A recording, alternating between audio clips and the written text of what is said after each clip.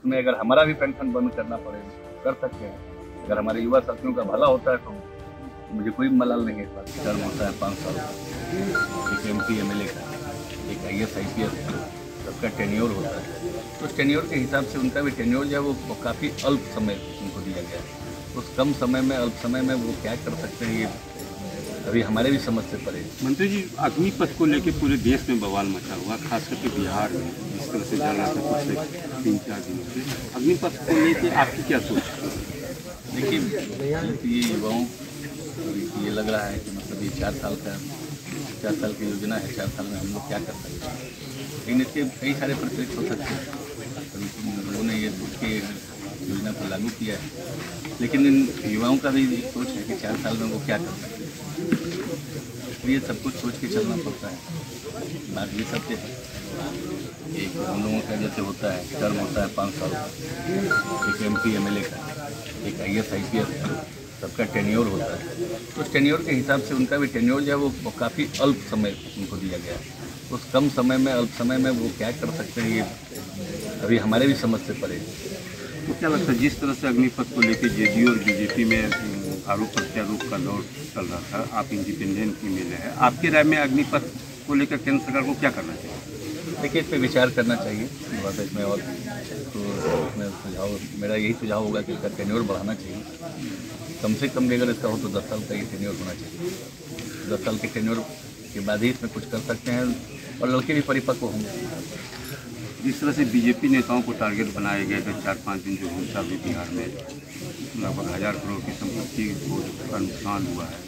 तो सरकार की नाकामी है क्या हिंसा पर काबू नहीं पा देखिए, सरकार अपना काम कर रही है। हिंसा, भीड़ जो है, भीड़ का कुछ कह नहीं सकते। भीड़ कब, कहाँ अपना रुख किधर कर दे? ये तो पे किसी का कोई काबू नहीं है। लेकिन जहाँ तक है, प्रशासन ने बड़ा मुस्तैदी से काम किया है। और वैसे किसी भी असामाजिक तत्व को हमारे प्रशासन ने छोड़ने का काम किया। लेकिन बीजेपी नेताओं का, का आरोप है कि प्रशासन की लापरवाही के कारण मतलब इतना हंगामा हुआ हुआ। नहीं ऐसा नहीं है। उन्हें अपनी अपनी सोच है उन्हें लगता हुआ ऐसा हुआ है ऐसा कुछ नहीं है। हर जगह मुस्तैदी से काम हुआ प्रशासन ने पूरी मुस्तैदी से अपना काम किया। मैंने तो आपके मुताबिक केंद्र सरकार को अग्निपथ योजना पर विचार करना चाहिए। बिल्कुल इस पर विचार तो होना ही चाहिए। मेरा भी मानना है मैं युवा हूँ और अपने युवा साथियों के साथ जो फीडबैक मुझे मिला है उस फीडबैक के हिसाब से मैं बोल रहा हूँ। ये मेरी व्यक्तिगत राय है। मैं युवाओं से जो बात करता हूँ, युवाओं से जो हमारा जो बातचीत होता है, उस बातचीत के क्रम में जो बात छन के आई है, ये छन के यही आई है क्योंकि वो सीधा सवाल करते हैं कि आप तो विधायक बन गए, आप तो मंत्री बन गए, आपका तो टेन्योर पाँच साल का है। हम लोगों का चार साल क्यों? ये भी सच है। हमारा भी टेन्योर होता है, हमें पेंशन भी मिलता है, उन्हें पेंशन भी नहीं मिलेगा। इसलिए मैं ये चाहता हूँ कि अगर वो है तो हर किसी के साथ ही मैं अगर खुद हमें मिलता है तो हम क्यों नहीं चाहेंगे हमारे युवा साथियों को मिले? इसलिए मैं इसका पक्षधर हूँ। उसमें अगर हमारा भी पेंशन बंद करना पड़े तो कर सकते हैं। अगर हमारे युवा साथियों का भला होता है तो मुझे कोई मलाल नहीं है इस बात राष्ट्रपति चुनाव आने वाला है। उम्मीदवारों की घोषणा हो गई है। जसवंत सिन्हा वर्सेस द्रौपदी मुर्मू। क्या लगता है? लगना क्या है? रिज़ल्ट सबको पता